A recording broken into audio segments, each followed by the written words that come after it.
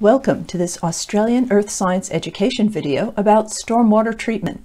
Have you ever wondered where the water goes when it rains?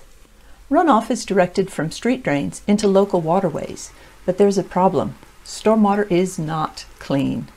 Many substances besides water may be in storm runoff, including rubbish, animal waste, motor oil, pesticides, and fertilizers. These substances end up polluting our inland waterways and eventually flow to the ocean. In order to improve water quality, many local councils install a variety of stormwater treatment devices. The most basic treatment is a gross pollutant trap that catches large items.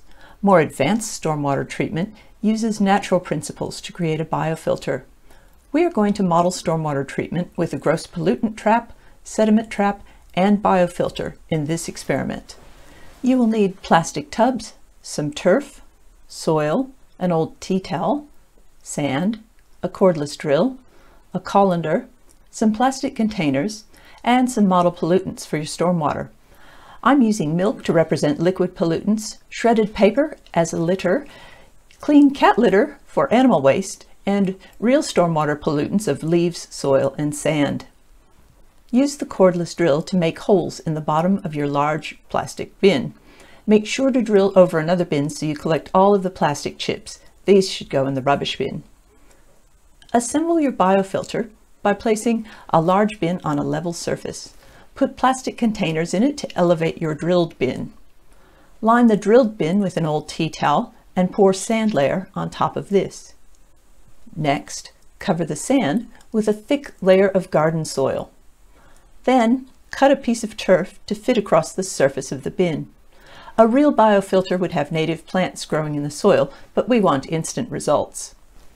Set up the remaining bins so that a shallow bin slowly drains into the biofilter. This shallow bin represents a sediment trap. The colander is our model gross pollutant trap. Mix your stormwater well, and then pour it into the colander and let it flow through the system. Note what pollutants are removed at each stage. You may need to gently elevate the end of your shallow sediment trap bin to help the water flow into the biofilter. Our colander represented the gross pollutant trap. It removed large items like leaves and twigs and a lot of cat litter too. The shallow bin acts as a sediment trap, allowing soil and sand to settle out.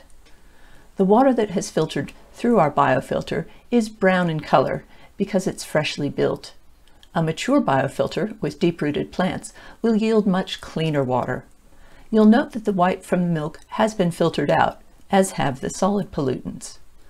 Biofilters are an effective way to remove dissolved pollutants. Scummy, leaf, and litter-filled water is naturally filtered into clean creek water using stormwater treatment. We hope you've enjoyed this experiment with stormwater treatment. For more videos, blog posts, and resources, see our website at ausearthed.com.au.